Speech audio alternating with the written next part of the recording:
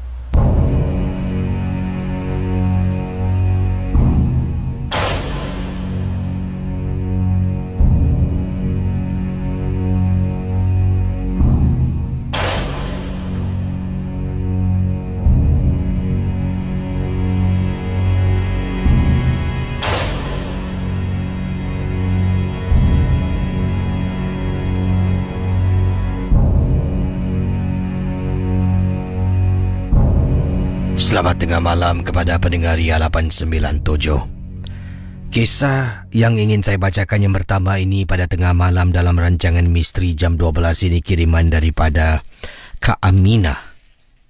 Berkongsi satu kejadian yang menakutkan berlaku. Sebelum itu, katanya Kak Amina, Casey, kakak ada seorang pembantu rumah Pembantu rumah kakak ni uh, agak istimewa kata Kak Aminah. Beliau ni dah macam keluarga. Dah pun bersama dengan keluarga kakak dah hampir tujuh tahun kisi.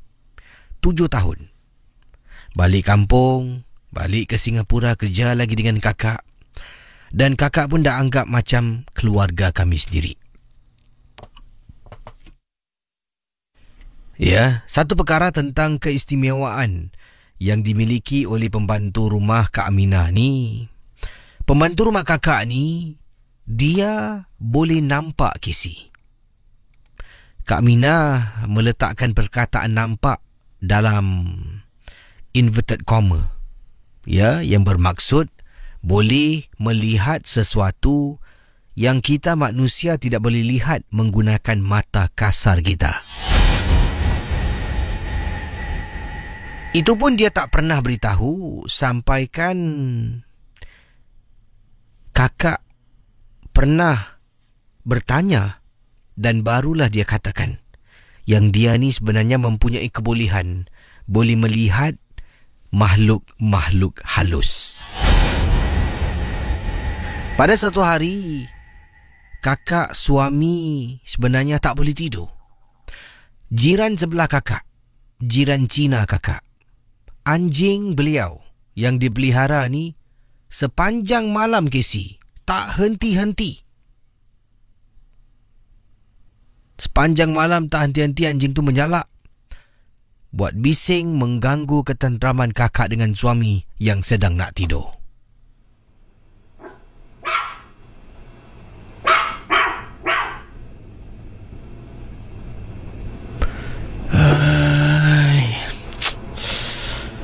Mana ni?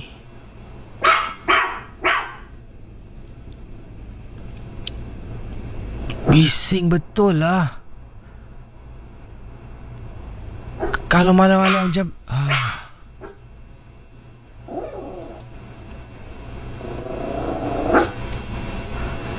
Pendengar Ria 897, Kak Amina bangun, suami bangun, keluar. Keluar. Sebenarnya nak melihat apa yang berlaku. Begitu kuat bunyi anjing. Anjing tu tak henti-henti. Daripada berbuat, membuat bising pada malam yang dimaksudkan. Jadi kata Kak Mina, beliau pun keluar dari biliknya berjalan menuju ke arah pintu rumah nak melihat apa yang berlaku sebenarnya. Kak Mina dengan suami keluar. Dapat lihat ya, dapat lihat iaitu jiran sebelah pintunya terbuka tetapi anjingnya tak henti-henti. Bila tuan rumah tutup pintu, anjing tu akan cakar pintu rumah tuan rumah iaitu jiran sebelah kakak. Bila dia buka pintu, tak henti-henti. Dia akan katanya di sini membuat bising, mengganggu ketenteraman orang yang nak tidur. Kakak memang ialah rasa penat sangat-sangat. Oleh kerana dia jiran, kita pun nak kena betul ansur, nak kena tahu apakah masalah yang dia alami. Aunty, ni kenapa ini anjing bising? Ha? Entahlah, ini Lucy ah. Dari tadi ya. Aunty tak tahu nak bikin apa ini. Lucy? Lucy? Lucy, don't... Ayah. Eh, susah. Ini anak anti ya, tak ada rumah. Anti seorang aja dalam rumah ini. Pendengar Ria 897 FM. Kemudian pembantu rumah saya keluar. Keluar dekat pintu menjenguk. Sambil tu dia memanggil saya. Ibu, ibu, ibu. Ah, eh. Ya Rini. Ibu sini. Ada apa Rini? Ibu. Saya rasa saya tahu kenapa anjing itu berbising-bising malam-malam seperti ini. Kenapa Lucy? Bayangkan. Kenapa Lucy bising-bising? Ibu. Depan rumahnya ada orang sedang berdiri. Hah? Kamu nampak? Ya, Bu. Bentar-bentar. Bang! Abang, dah lah bang. Masuk bang. Bang, masuk bang. Hai, macam mana saya nak masuk ni? Lucy ni masih bising lagi ni. Ayo, aunty, you tutup pintu lah. Ah, noisy no. Sorry lah, sorry ah, sorry ah. Pendengar Ria 897 Masih lagi berbuat bising anjing ini maksudkan Kemudian bila bertanya Bertanya kepada Rini pembantu rumah Suami pun tahu yang Rini mempunyai keistimewaan Bila saya kata Bang Abang dengar Rini nak cakap apa ha, Apa dia Rini Depan rumah anti Ada orang sedang berdiri Nampak tak? Saya dengan suami kata kami tak nampak. Ya, ada di depan itu. Jadi nak buat apa sekarang? Pembantu rumah tak tahu apa yang boleh dilakukan. Nak tak nak, saya dengan suami terpaksa tutup pintu. Kemudian pintu bilik pun tutup. Kemudian kami cuba tidur, tenangkan diri, pejam terus pejam mata untuk tidur. Sepanjang malam, Casey anjing jiran sebelah tak henti-henti membuat bising. Akhirnya, pembantu rumah kata depan rumah jiran sebelah. Ada seseorang sedang berdiri. Misteri Jam 12. Kisah-kisah yang anda dengar dalam rancangan nombor satu radio Misteri Jam 12 hanyalah sekadar satu hiburan sahaja. Jangan mudah percaya, jangan terikut-ikut dengan apa yang diketegakkan. Yang pasti, rancangan Misteri Jam 12 hanya sekadar hiburan.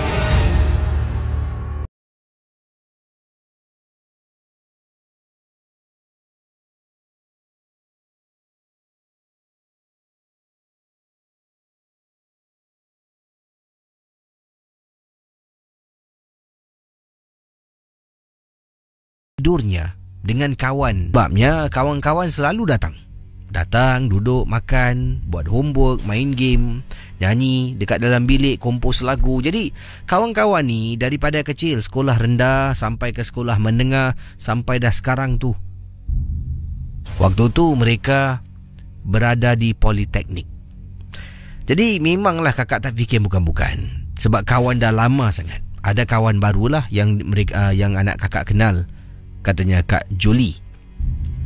Jadi anda bayangkan situasi yang dikongsi sama oleh Kak Julie. Malam-malam hari beberapa malam tu Apabila kakak sedang tidur, kakak akan bangun. Kerana kakak terdengar bunyi televisyen seperti ada orang hidupkan TV. Kuat bunyi.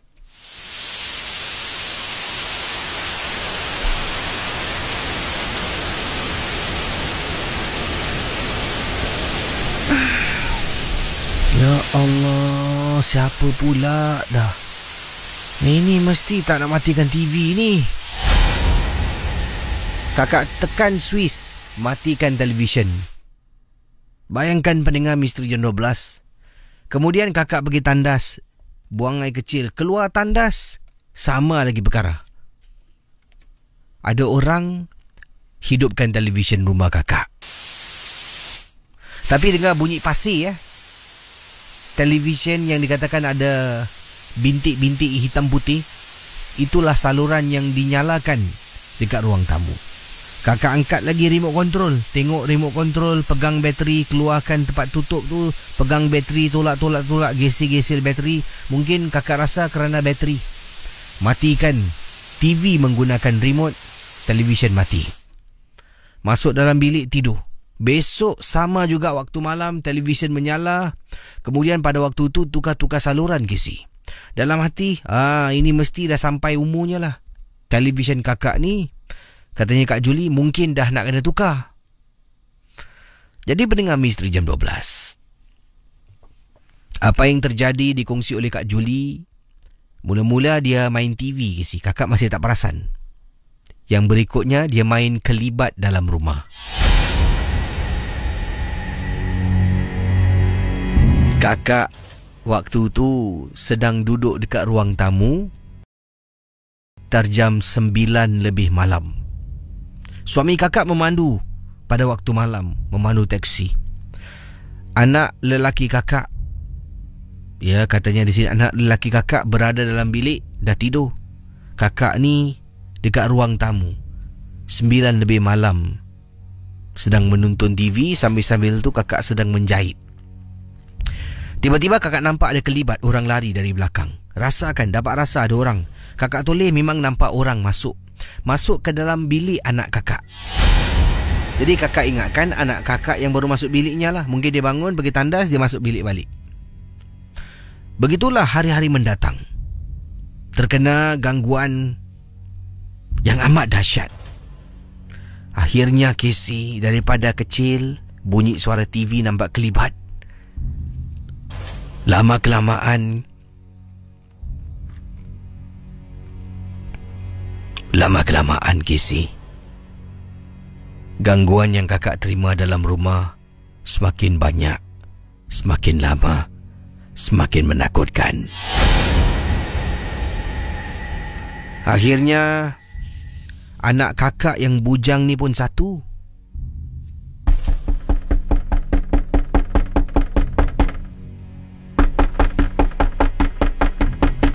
Ma. Ma. Ah, ada apa ni? Ma. Um. A abang Abang nak tidur dekat bilik mama boleh tak? Eh hey, bang. Si tidur bilik mama? Eh, kau tu dah tua tau bang tidur bilik mama. Untuk malam ni je mah. Casey. Rupa-rupanya Dipendekkan cerita bila kami selidik Anak kakak Dia mengaku dia masuk dalam internet Dengan kawan-kawan pada satu malam Dia telah pun muat turunkan beberapa Bacaan-bacaan mentera, mentera memanggil menyeru makhluk halus. Dia tidak percaya. Dia nak cuba katanya nak eksperimen nak tengok betul ke tidak. Sememangnya dia tak nampak. Sememangnya pada waktu itu dia tak dapat lihat. Anda bayangkan lama-kelamaan kakak yang kena ganggu dulu dan akhirnya bila dia boleh melihat benda yang datang ke rumah yang dia seru yang dia panggil baru dia faham. Baru dia faham. Bayangkan pendengar misteri jam 12.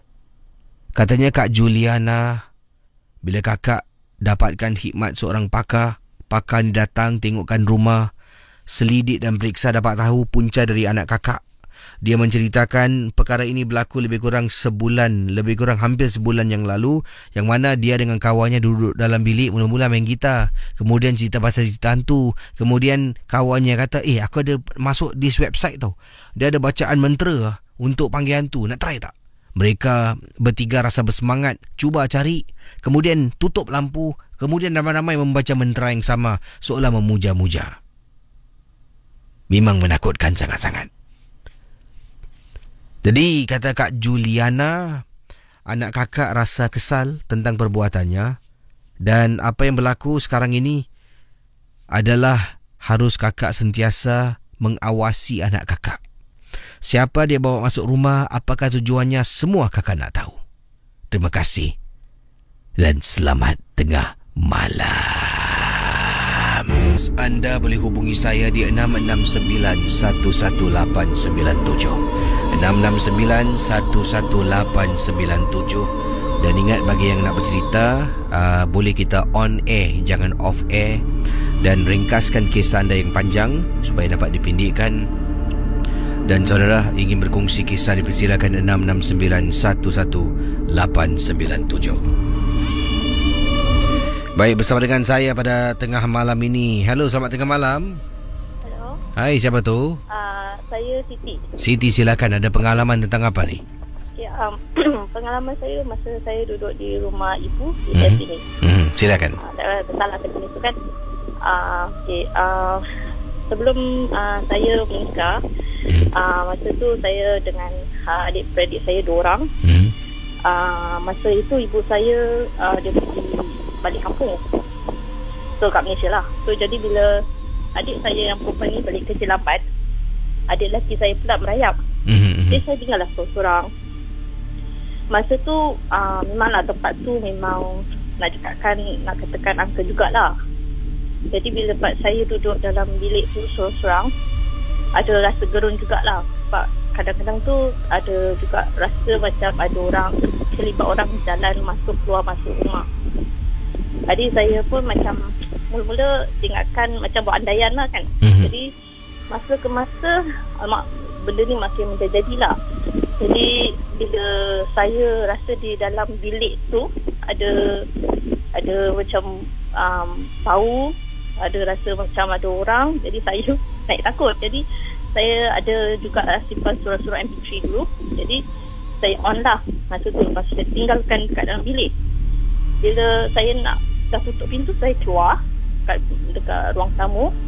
Jadi saya bila saya tengok TV dalam berapa jam eh saya dengar tau Casey macam seorang ada cakaran dekat pintu belakang pintu bilik saya tu oh. oh. bunyi dia kuat juga lah saya, oh. saya fikir oh, awal-awal tu dengar gegaran pintu yang knock door knock tu hmm. macam ada orang macam menggegar so saya rasa macam pelik juga lah sebab semua pintu bilik bilik ibu, bilik adik, adik saya semua buka cuma hmm. bilik saya saya tutup sebab takut lah kan takut dia keluar jadi bila pak saya duduk tu lepas dengar tu lagi beberapa minit dengar pula cekaran kecil.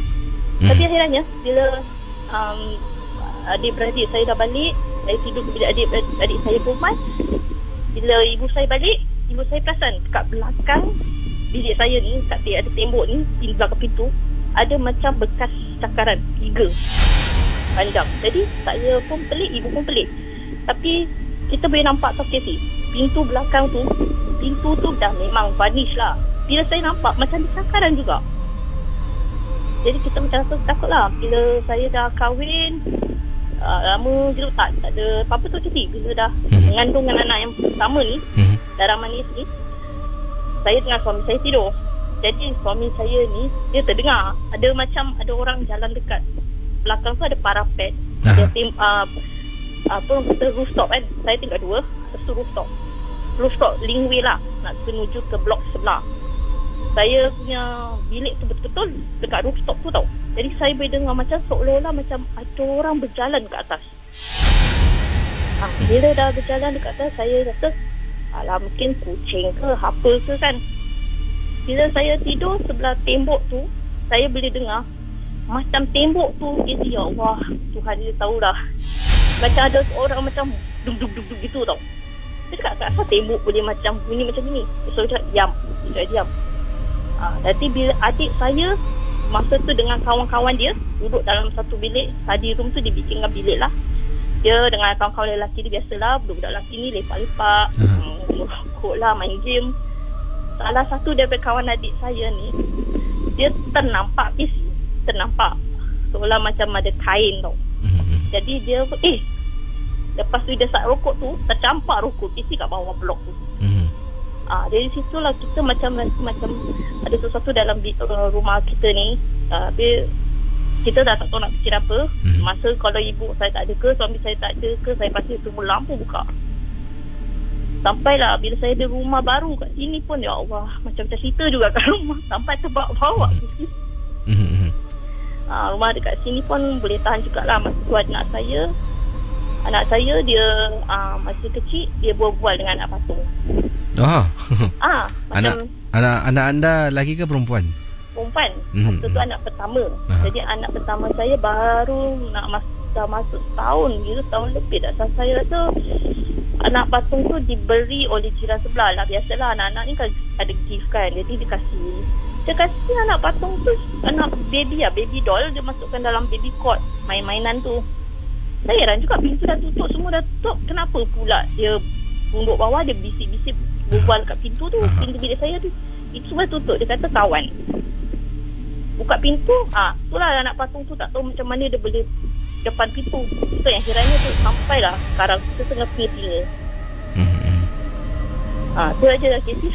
Wah Jadi um, Yang uh, sekarang ini Gangguan bagaimana? Uh, Masih berlaku Atau anda dah Tidak lagi kena gangguan Uh, Alhamdulillah lah tak so far sebut lah sebab mm-hmm. uh, ibu saya ada jugalah yang susah datang kasi mm-hmm. macam bacaan tapi mm-hmm. dia cuma kacau kita dari luar Mm-hmm. Ha, itu pun boleh nampak lah benda-benda yang kadang-kadang budak-budak ni boleh nampak kan. Uh-huh.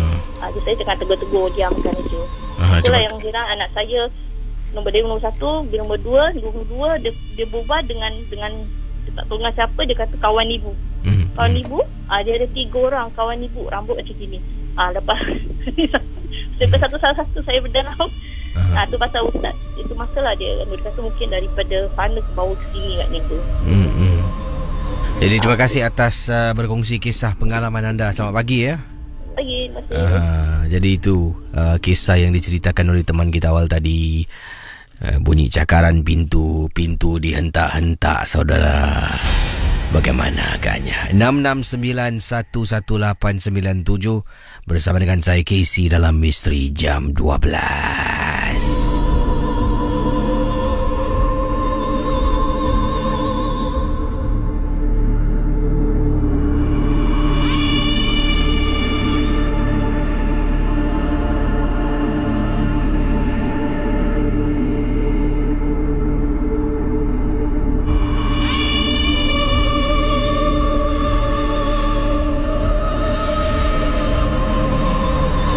Baik, kita ke hujung talian sekarang. Hello, selamat pagi.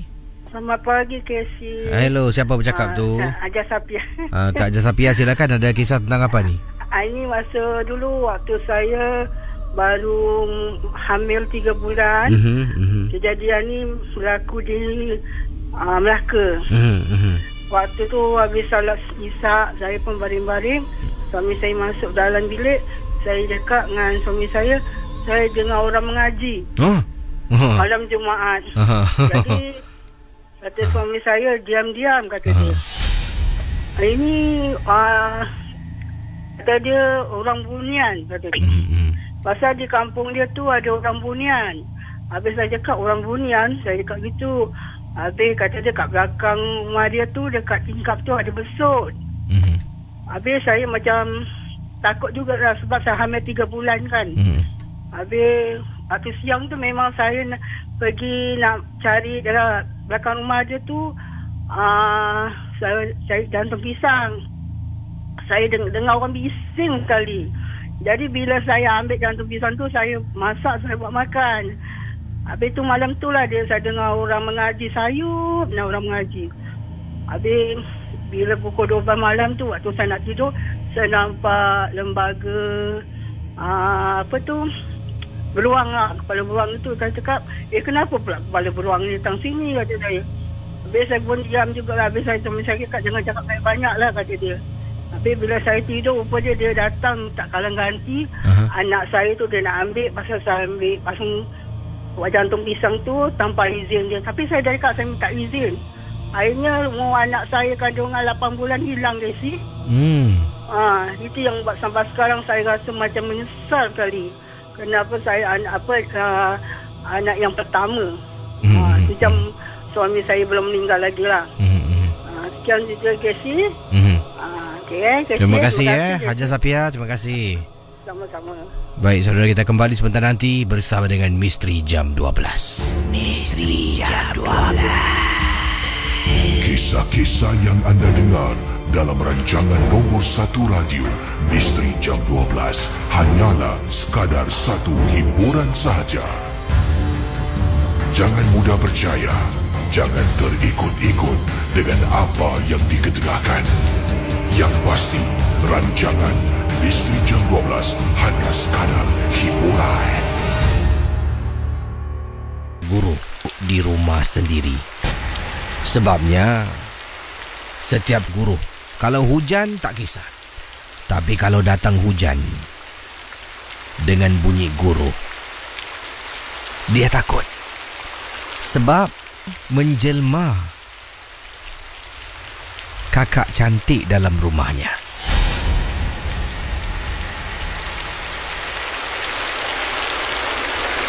Kalau hari hujan Nak-nak pada waktu malam Kakak kalau bangun Kerana hujan. Kakak akan duduk dekat katil Untuk seketika.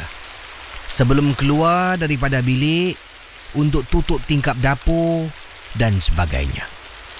Kalau tengah duduk dekat atas katil Tiba-tiba Mendengar Ria 897 FM terdengar bunyi peti ataupun ternampak sambaran peti dan juga bunyi guru kakak takkan keluar kesi takkan keluar daripada bilik itulah yang diceritakan dalam misteri jam 12 Ya Allah bunyi guru Ya Allah. Kisi. Ini adalah pengalaman yang kakak alami. Setelah kakak berpisah dengan suami. Sebab mak mertua kakak memang tak suka dengan kakak pada waktu. Mungkin kerana cinta, kami mendirikan rumah tangga. Menolak tepi segala-galanya. Tapi mak mentua tetap tidak suka dengan kakak. Akhirnya kami berpisah. Bila dah berpisah, tak kisah. Dia tetap nak menyusahkan hidup kakak Kisi. Kakak tinggal rumah siwa. Sebuah rumah kakak siwa. Rumah ni satu bilik. Satu ruang, satu bilik, satu hall. Tidak ada orang tinggal dengan kakak. Hanya kakak seorang yang duduk dalam rumah ni. Jadi kalau datang bunyi hujan turun, waktu malam tengah tidur, kakak akan duduk. Sekiranya tengah duduk, masuk lima minit tiba-tiba terdengar bunyi guruh. Kakak takkan keluar daripada bilik. Selepas bunyi guruh tu, kakak agak, dah agak, pasti akan dengar bermacam-macam bunyi dekat ruang tamu rumah kakak. Pernah sekali ketika kejadian ini berlaku kakak tak tahu.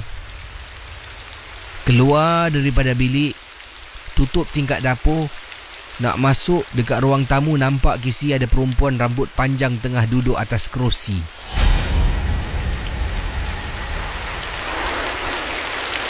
Casey nak masuk dalam bilik kakak Punyalah takut Dah lah hujan Bunyi guru kakak sorang-sorang dalam rumah Kemudian kakak mendapatkan bantuan daripada seseorang.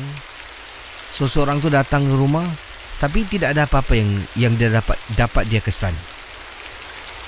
Dan kebetulan salah seorang daripada pelanggan yang dia pernah tolong agak serupa bila kakak menceritakan malam yang berlakunya kejadian yang menakutkan itu.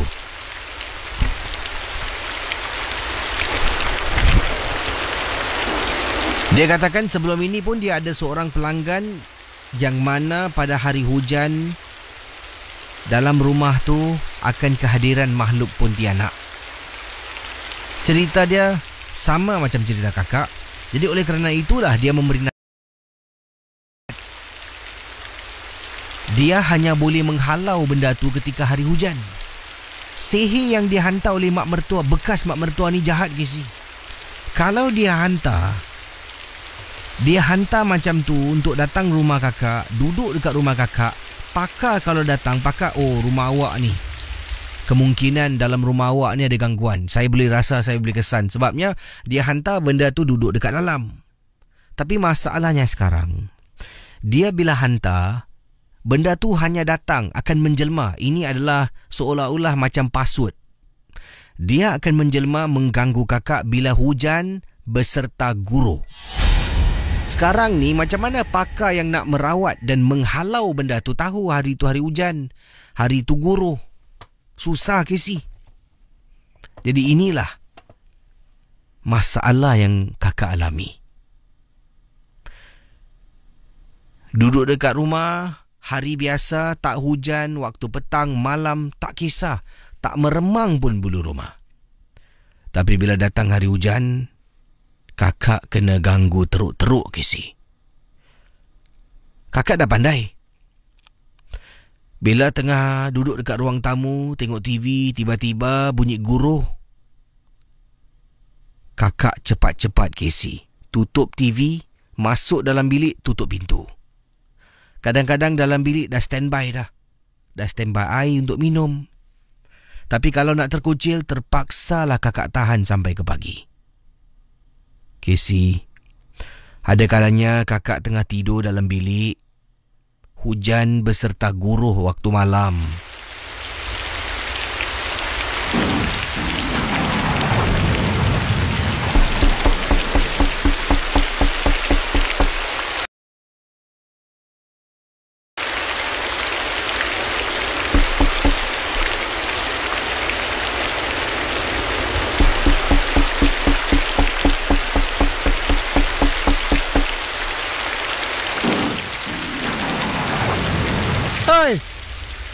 Kacang kau lah.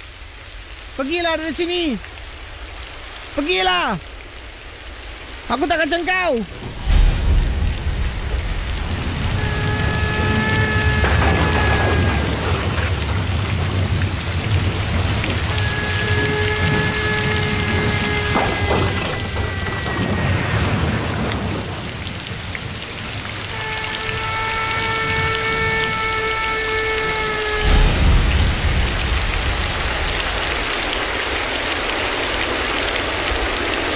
Akhirnya katanya kakak di sini kakak pun buat perjanjian dengan pakar. Kita duduk berbincang bagaimana masalah ni dapat kakak tangani. Jadi kami menggunakan kaedah teknologi. Nak tak nak katanya kakak. Bayangkan katanya di sini kakak dengan pakar mengelungsuri internet masuk laman web Jabatan Kaji Cuaca Singapura yang mana mereka boleh memberitahu hari bila hujan. Tapi guru tak guru tak pasti. Cuma dia kata hujan dan sebagainya. Jadi bila tengok waktu-waktu yang dikatakan hujan, pakar tu akan datang rumah kakak. Kakak izinkan dia duduk dalam rumah kakak tapi kakak tak ada rumah. Misal kata kalau dikatakan hari Rabu, hari Kamis, hari Jumaat, tiga hari itulah antara tu akan hujan, pakar tu akan datang pada waktu pagi. Kakak akan serahkan kunci dan kemudian kakak akan tidur di rumah pakar tu dengan istrinya. Jadi Casey kata pakar tu bila dia berbuat demikian, kebetulan Casey. Perancangan kami terkena tepat pada waktunya. Hujan beserta guru. Pakar dalam rumah. Dekat ruang tamu sedang duduk. Dia dengar Casey. Bunyi sirit-sirit kaki. Datangnya daripada bahagian dapur rumah kakak. Pakar tu duduk dekat kerusi sambil katanya membaca Yasin pada malam berkenaan. Sedang dia baca Yasin, dia dapat rasakan benda tu datang dekat dan berada di sebelah dia. Sambil dia baca, dia tak buka mata. Dia tutup, pejam matanya. Membaca Yasin. Baca terus. Sampaikan dia dapat rasakan meremang. Ada kalanya manusia kalau rasa meremang terlampau sangat, rasa takut, dia akan berhenti buat daripada apa yang dilakukan. Jadi benda ni nak menakut-nakutkan pakar perubatan yang membantu kakak. Sama sekali pakar tu tidak gentar. Sedang dia baca lagi, tiba-tiba pakar tu kata, saya boleh bau. Kalau bau busuk bertukar wangi, tak kisah. Tapi masalahnya bila bau wangi bertukar busuk, ini yang masalah. Dia terus membaca dan membaca dan membaca dan dapat rasakan kehadiran entiti berkenaan. Selepas itu dia bangun dan menggunakan penyembuh. Di mana dalam penyembuh, botol penyembuh tu dia dah masukkan air bacaan Yasin tadi tu yang dia baca sendiri baru dia sembuh empat penjuru setiap ruang dalam rumah. Dekat dapur empat penjuru, ruang tamu empat penjuru, bilik tidur empat penjuru. Kecuali dalam tandas. Akhirnya benda tu lari masuk dalam tandas rumah kakak. Dalam tandas ni kata pakar agak susah sedikit. Yalah kalau nak menghalau, tak boleh baca-baca sembarangan. Jadi pakar ini telah pun memberitahu teknik yang dia gunakan adalah melaungkan azan azan yang dilaungkan tak boleh dalam tandas. Pakar ini mengatakan dia berdiri dekat luar tandas, menghadap ke arah kiblat, kemudian jari telunjuk bila dia azan tunjuk dalam tandas. Sambil tu dia mengazan. Dia dapat dengar bunyi dalam tandas. Sampaikan botol syampu kakak boleh jatuh kisi. Alhamdulillah setelah berbuat demikian dengan bantuan pakar yang benar-benar nak bantu kakak. Apa jua yang dihantar oleh mak dah tak datang lagi dah. Tapi tetap rasa fobia. Setiap kali bila hujan turun, bunyi guruh, kakak akan takut sangat-sangat. Kalau teringat kembali perkara yang menghantui kakak.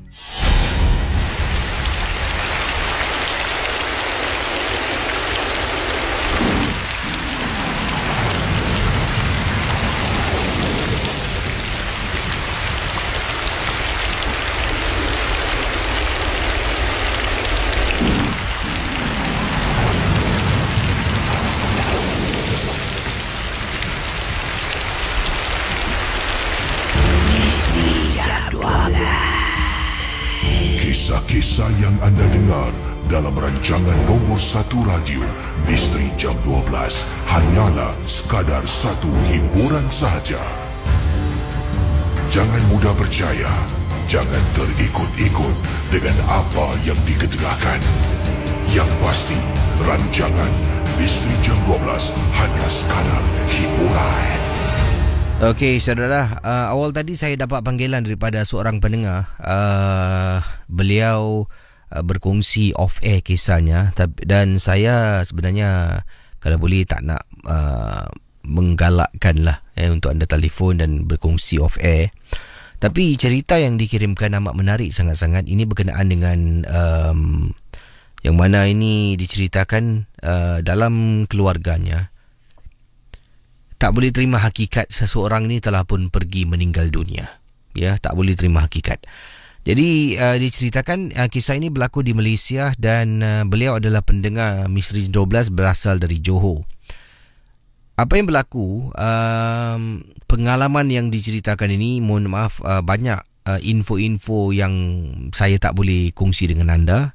Ya, katanya suruh rahsiakan takut nanti ada ahli keluarga yang kenal bila sebut tinggal kampung mana lah, dekat mana dan sebagainya. Jadi dipendekkan cerita bila dia menghubungi saya dia memberitahu sekarang ni dia takut nak duduk, duduk dalam rumah sendiri eh kerana apa? Kerana perbuatan kakaknya. Jadi baru-baru ini kata beliau uh, ibunya telah pun meninggal dunia. Kakak ni dengan dia uh, pastinya dengan ayahnya lah memang sedih lah satu kehilangan yang amat besar. Ibunya sakit dah lama eh kemudian baru-baru ini sakitnya semakin teruk dan mengembuskan nafas terakhir ya lebih kurang beberapa bulan yang lalu. Jadi dipendekkan cerita, beliau memberitahu saya um, kakak um, tak boleh lupakan uh, pemenggian ibu setiap malam menangis. Saya pun ikut menangis tapi saya ni lebih boleh mengawal emosi kata beliau. Jadi kakaknya telah pun mengambil. Bayangkan eh Mereka tidur semua di satu bilik eh. Uh, Arwah ibu dengan bapa satu bilik eh. Uh, Pendengar kita yang berkongsi Beliau tak nak beritahu nama. Saya gunakan nama Ana bukan nama sebenar. Ana uh, tidur satu bilik Kakaknya satu bilik. Kemudian sekarang ni masalahnya Kakaknya setiap malam kalau tidur Dia akan ambil baju ibunya. Baju ibu yang disebut sebutkan di sini bukan baju ibu yang digantung dalam lemari. Tidak. Baju ibu yang belum sempat dicuci. Baju yang digunakan ketika ibu um, berada di rumah dan meninggal dengan pakaian yang dipakai itu. Jadi baju tu kakak akan letak dekat katil baringkan macam seolah-olah ada orang tengah pakai kakak akan tidur sebelah ibu. Masalahnya sekarang pada satu malam saya ni telah pun diarahkan oleh bapa saya oleh abah saya kata beliau eh. Beliau telah pun diarahkan oleh abahnya um, untuk tengok-tengokkan kakak. Sebab kakak ni lebih emosi daripada beliau. Jadi malam tu saya pun pergi bilik kakak. Terperanjat bila nampak dekat katil kakak ada dua orang satu kakak saya yang sebelah kakak saya tu siapa Kisi? Bila ternampak, saya dah tak tahu nak bikin apa. Dan keesokan paginya, saya terperanjat bila masuk bilik kakak nampak baju diletakkan atas katil. Ya, baju tangan panjang, lengan panjang milik ibu diletakkan atas katil. Kemudian dekat bawah tu letak kain yang dipakai oleh ibu ketika dia kurang sihat seolah-olah macam tengah baring kat atas katil. Saya pun tanya, kakak, asal kakak letak baju arwah mak macam tu eh? Kenapa engkau? Kau sibuk sangat masuk bilik aku pasal? Dia marah. Ah, dia ceritakan dia marah. Selepas kejadian itu, kakaknya kunci pintu bilik, tak kasih dia masuk. Dan lama kelamaan, keadaan dalam bilik kakaknya semakin lama semakin teruk. Pakaian berselirak, makan kadang-kadang dekat dalam tak dibersihkan, bilik tu dah jadi kotor sangat. Tapi tetap tak dibenarkan masuk dalam. Dia beritahu abah, katanya eh saya, uh, beliau memberitahu abahnya, abahnya cuma nasihatkan kakak, tapi kakak abah rasa mungkin masih lagi emosi. Padahal tidak. Katanya ketika dia hubungi saya awal tadi, Beliau menceritakan dia tahu yang kakaknya telah pun dikuasai emosinya oleh makhluk jin. Jadi um, dia tak tahu bagaimana sekarang nak dapatkan bantuan seorang pakar. Um, takut nanti abahnya salah faham. Takut nanti keadaan ni menjadi tegang sebabnya saya melakukan sesuatu yang mungkin tidak disetujui oleh abah saya. Buat masa ini, kata beliau, abahnya hanya uh, merasakan perbuatan kakaknya ini kerana terlampau sayangkan dan rindukan arwah mak. Sebelum sempat habis berbual, telefon terputus. Tapi uh, terima kasih eh kepada Ana ataupun N bukan nama sebenar nama samaran yang saya gunakan uh, kerana sudi berkongsi pengalaman hubungi saya di Singapura ni dan uh, berkongsi satu peristiwa yang amat menarik sangat-sangat. Saudara uh, yang pergi biarkan berlalu pergi. Uh, agak sukar eh untuk kita uh, mungkin terima hakikatnya uh, yang hidup pasti akan mati dan yang yang hidup tak kis tak kira usia ya bukan yang hidup yang tua mati yang muda terus hidup sampai ketua tidak. Kadang-kadang yang muda ni setengah jalan pun akan mengucapkan selamat tinggal tanpa uh, mungkin tanpa sebarang peluang sebenarnya untuk berjumpa dengan keluarga. Tiba-tiba dah meninggal. Jadi uh, inilah yang diceritakan oleh pendengar kita. Terima kasih banyak-banyak. Uh, saya harap uh, dapatlah uh, N. Anda tahu siapa diri anda Uh, mendapatkan bantuan mungkin daripada ahli keluarga yang lain saudara mara makcik-makcik eh mungkin boleh lihat uh, keadaan kakak anda dan dapatkan bantuan pakar sebelum uh, sesuatu yang lebih teruk berlaku menghantui keluarga anda. Terima kasih. Kisah-kisah yang anda dengar merupakan misteri jam 12. Tidak ada sebarang bukti yang boleh mengesahkan kebenarannya.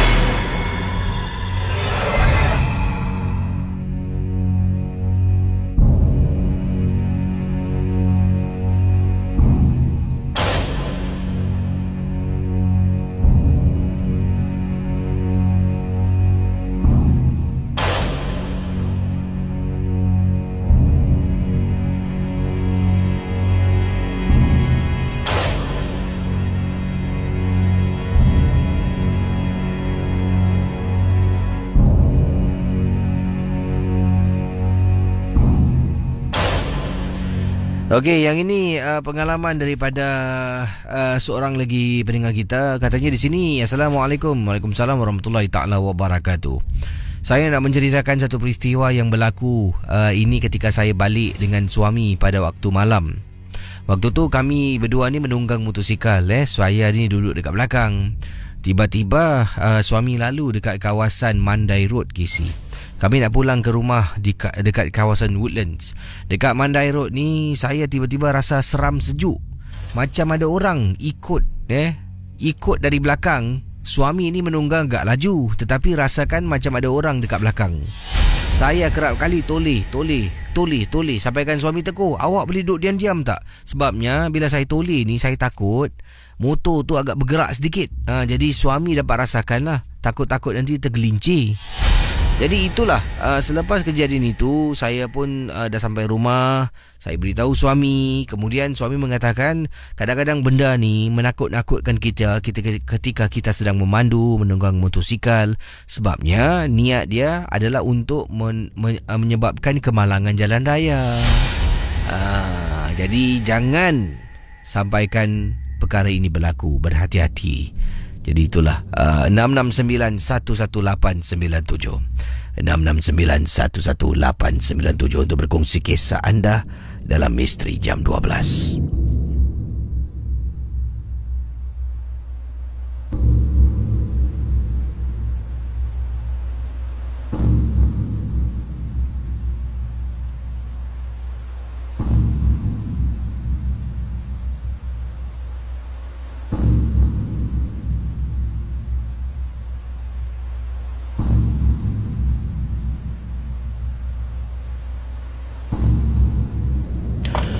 Okey, bersama dengan saya di ujung talian siapa kegerangan. Hello, selamat pagi.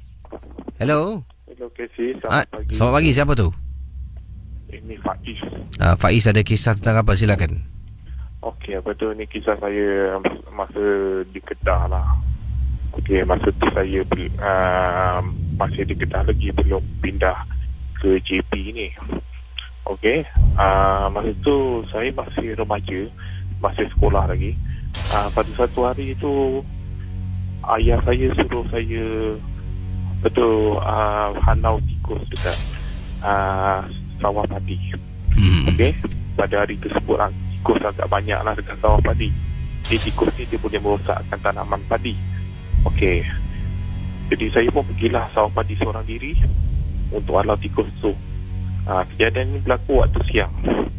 Uh, masa tu tikus tu agak banyak. Jadi saya nak halau seorang-seorang memang agak susah lah sisi memang agak susah. Apa tu tiba-tiba masa saya tengah halau tikus tu ada saya terdampak ada satu lembaga lembaga tu uh, dia punya dia punya saiz macam manusia tapi bentuk dia macam bentuk padi macam bentuk padi. Ah jadi makhluk tu dia tolong saya halau tikus tu. Ah, tolong saya halau tikus-tikus yang banyak tu kisi. Hmm. ah, lepas tu apa tu ah, tak lama lepas tu saya dengar ayah saya datang. Ayah saya datang panggil nama saya. Saya toleh ke belakang. Saya toleh ke belakang saja tengok ayah saya. Lepas tu saya toleh balik ke depan. Makhluk tu dah tak ada kisi. Hmm. ah, itulah kisahnya kisi. Hmm, terima kasih ya Baik, sila hubungi saya sekarang 669-11897. Yang ini daripada Nolia. Assalamualaikum, Kisi. Waalaikumsalam. Saya pendengar Misteri Jam 12 berasal dari Pulau Pinang. Oh, orang Pulau Pinang. Ya, apa khabar Nolia? Uh, Nolia nak berkongsi satu peristiwa. Uh, yang ini uh, katanya Nolia berhati-hatilah uh, kepada yang suka lewat pulang lewat malam. Ada kalanya memang tak boleh dielakkan eh kerana kita ni keluar bekerja balik rumah tu uh, kadang-kadang sampai lewat malam. Tapi itu mungkin kita keluar mencari rezeki kerana Allah. Jadi kalau niat kita suci dan murni, kita niat eh aku ni mencari rezeki kerana Allah, insya-Allah tidak ada apa-apa akan berlaku. Masalahnya ni um, apa yang berlaku uh, pendengar Ria 897 FM apabila kita balik lewat malam kerana keluar untuk bersukaria kemudian kita ni balik lewat malam kerap benda ni suka perhatikan gerak-geri kita kalau kita dekat luar rumah dia tengok oh dia ni selalu balik pukul ni waktu macam ni eh dia akan jalan dekat kawasan aku ni lama kelamaan dia akan ikut balik Itulah yang berlaku kepada diri saya kata Nolia. Saya ni kerap kali waktu tu muda kisi. Sekarang ni dah matang lah. Alhamdulillah cepat dah berubah. Kalau masih ikut perangai dulu, saya rasa mungkin saya tak ada dekat sini untuk berkongsi dengan Casey. Jadi waktu muda saya ni gemar sangat pergi kelab-kelab malam Casey. Balik lewat-lewat dengan kawan-kawan ia pergi menyanyi karaoke lain Kadang-kadang sampai dekat rumah Jam 3 pagi Mak dengan bapa saya pula Jenis yang sering kali bergaduh. Bapa kadang-kadang pun tak balik rumah. Jadi agak kocak kacir keluarga saya pada waktu itu. Maka itu bila saya balik lewat pun Tak ada orang pun kisah.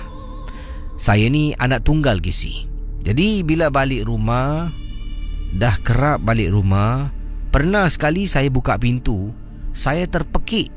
Sebabnya tolak pintu Ruang tamu rumah gelap Tapi saya nampak dekat ruang tamu Ada tiga perempuan tengah duduk dalam gelap Di ruang tamu rumah saya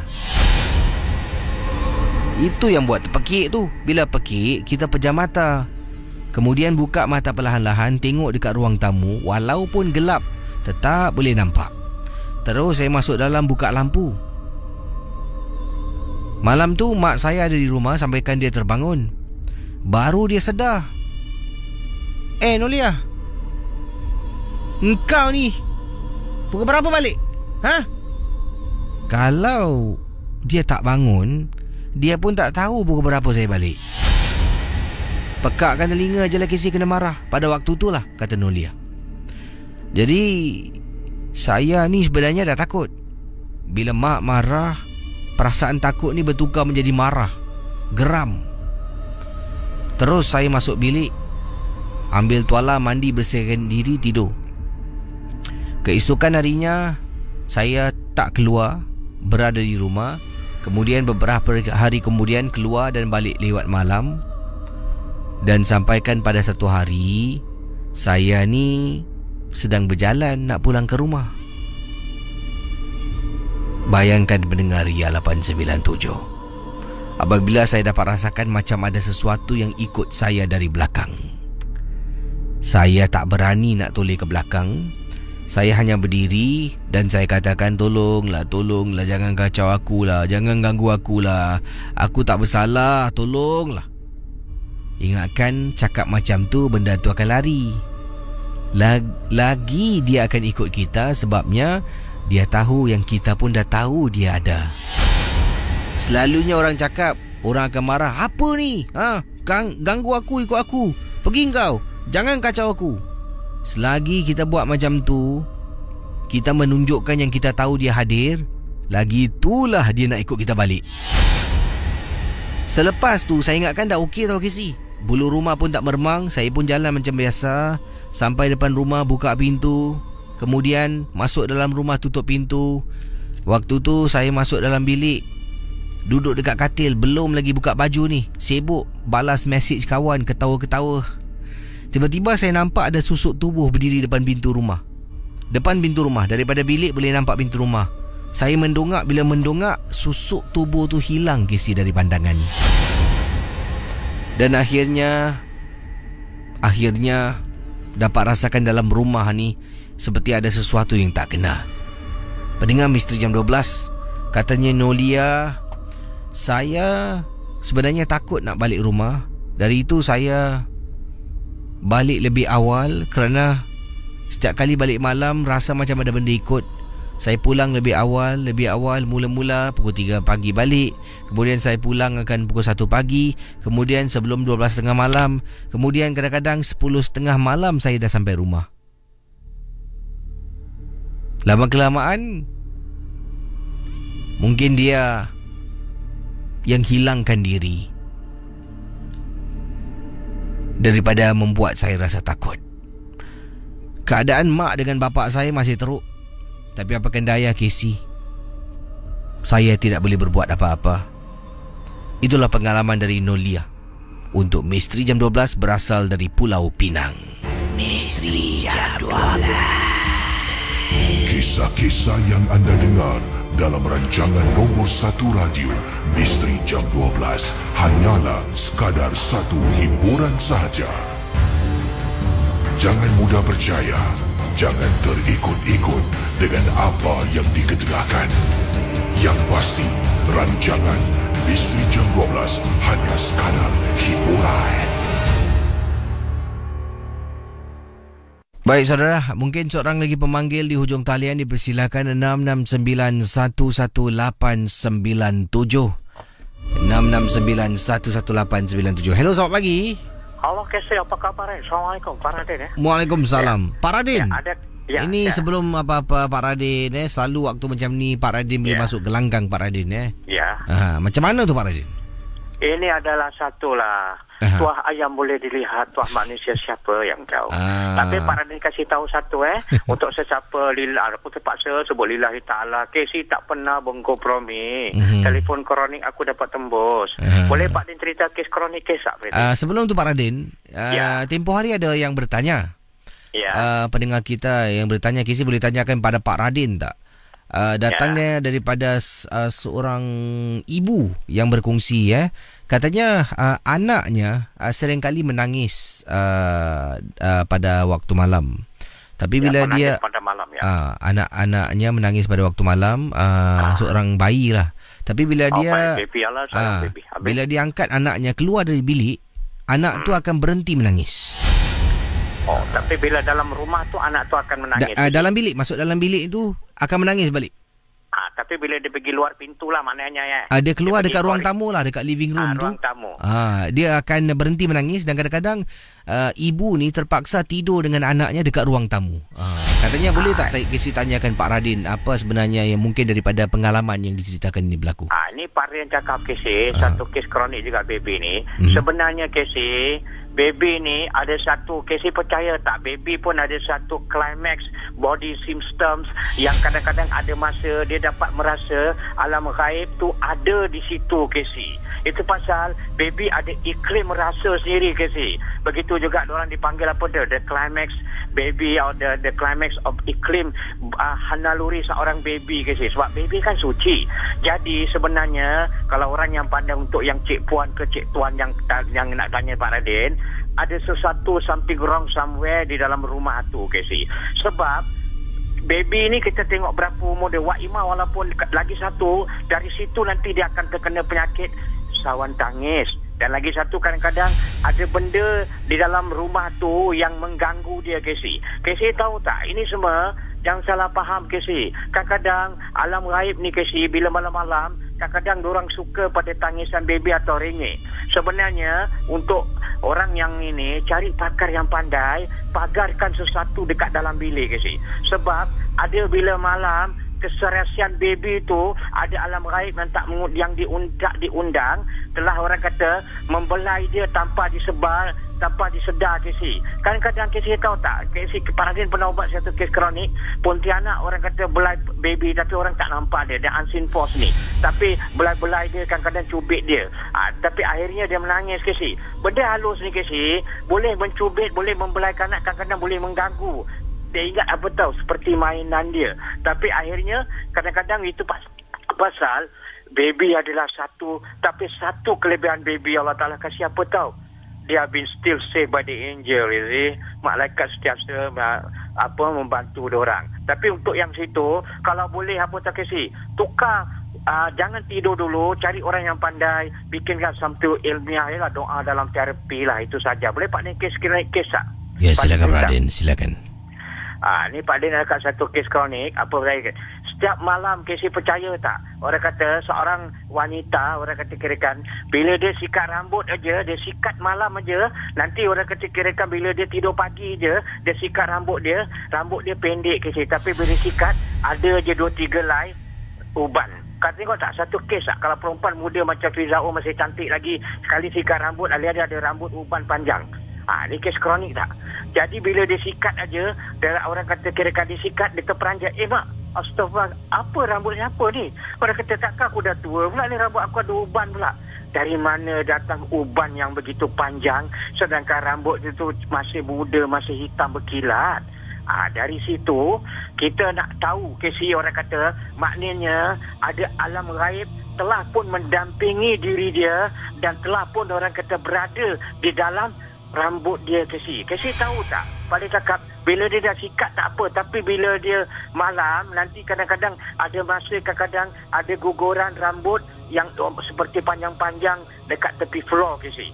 Jadi maknanya kesi Pak dia cakap wanita ni orang kata kelah telah dimonopolize orang apa tahu itu pasal puncanya kenapa ha, ni Pak dia cakap punca lepas Pak dia ubat dia seorang wanita janganlah kau sikat rambut di kala malam orang kata kirakan sambil kau mengelamun tengok tingkap. Atau sambil kau uh, sikat rambut tu kau mengamun ke kau humming ke si ada akan datang undang benda yang halus.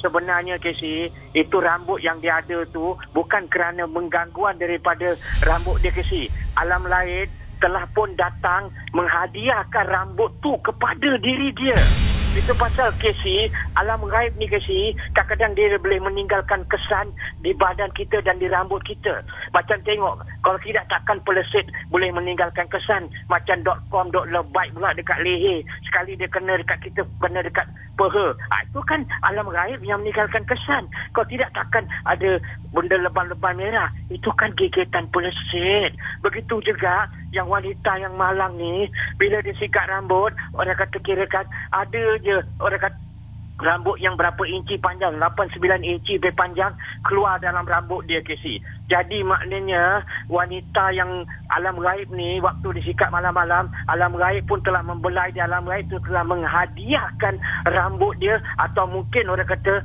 tarik rambut dia dan memberikan kepada wanita ni tanpa dia sedar Casey.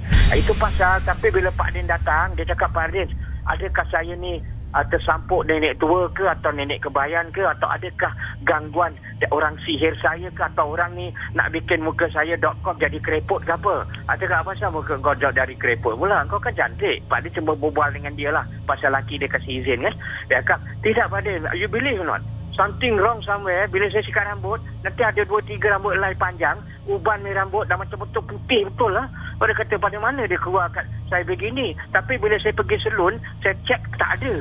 Eh sekali Pak Din cakap dengan dia lah ini something wrong with maknanya ada alam lain telah mendampingi kau tapi meninggalkan kesan di ram, rambut dia tu di dalam antara rambut-rambut kau di situ tu Casey dia selitkan ke atau dia buat kesan? Bagaimana pelesit meninggalkan kesan seperti gigitan? Orang kata kirakan yang lebam-lebam di merah di leher di belakang semua dot com dot habis eh, macam satu macamnya habis kena gigit. Jadi itu pasal. Tapi lepas tu Casey Pak dan cakap dengan dia satu buat sesuatu. Apa yang kau bikin Pak tanya. Adakah kau setiap malam kadang-kadang kau suka sikar rambut? Saya ni memang suka nyanyi. Habis tu kadang nyanyi saya sikar rambut malam-malam. Tapi rumah saya memang banyak pokok besar. Jadi Pak Din cakap apabila kau membuat satu perkara belai rambut benda halus tu akan ikut. Tapi kerana mungkin dia tengok rambut kau cantik tu jadi mungkin orang kata kirakan dia nak hadiahkan benda rambut alam gaib tu akan hadiahkan. Kesi tahu tak? Dalam apa benda Kesi kadang-kadang alam gaib ni boleh meninggalkan kesan. Bukan kerana dia nak menyampuk kita tersampuk kita. Tapi dia nak mendampingi diri kita seperti aku belum damping kau tapi rambut aku mendahulukan kau. Kerana kau suka anu rambut kau kan? Aku kasih rambut aku dengan kau dan benda tu seperti dia orang kan ada satu magic juga kasi bila dia tarik rambut dia kapal lepas tu dia terus tiupkan dekat situ kan dia boleh melekat kasi dan akhirnya bila lepas tu bila start malam ada dia tunjuk pada dia, kira dan sampai ada tak? Ada berbelas lah dan Pak Lee cakap Balin saya dah takut Lee macam mana ni. Jadi Pak Lee cakap pada malam ni kau jangan buat akan sudah tersampuk. Dan kadang-kadang memang betul Casey dia cakap berapa malam bila dia tengok cermin, bila dia sikat rambut, dia rasa seolah ada rambut lain yang agak panjang. Orang kata kira kan menempel dekat dia Casey. Seperti ada rambut dia tu ada kembar. Tapi kembaran rambut yang beruban yang panjang Casey. Jadi alam laib ni orang kata telah menumpang semangkuk orang kata menghadiahkan benda-benda yang boleh meninggalkan kesan untuk di dalam diri dia. Itu pasal orang putih cakap bad habit die hard. So anything whatever Casey tahu tak malam kan Casey cakap misteri jam 12. Malam ni penuh dengan misteri Casey. Apa benda the roaming nightlife on post akan mengikut apa yang kita buat dan akan meninggalkan kesan kepada apa perbuatan kita. Dan ini antara kesan dia sebagaimana pelesit meninggalkan kesan seperti leban-leban di leher sana sini kau macam tergigit sana tergigit sini dan begitu juga alam gaib apa yang kau buat dia akan mengikut dan dia akan ah, membuat sesuatu ke dalam rambut kau. Kau suka berai rambut kan? Okey baik aku kasihlah rambut aku sikit dengan kau. Dan ter, ber, ada bila dia sikat aja, benda selit-selit terkeluar. Dan akhirnya bila dia tengok wajah dia lama-lama, seperti dah macam orang tua. Ah, ha, Casey percaya tak? Mungkin bila Pak Radin cerita ni, orang ingat seperti kelakar seram ke Pak Radin ni, ini apa merapik mencerita tidak ada perkara yang there's nothing impossible kalau unseen force nak bertapak di dalam badan. Bukan saja di dalam badan di rambut. Kadang-kadang pelesit boleh bertapak dengan meninggalkan kesan di peha di, di tangan. Apa lagi benda-benda lain? Tapi Pak Din dah settlekan akhirnya bila disikat rambut dia dah cantik.com.sexy macam gorgeous apa beautiful macam Shan Mia ni lah censored by Shan Mia rambut.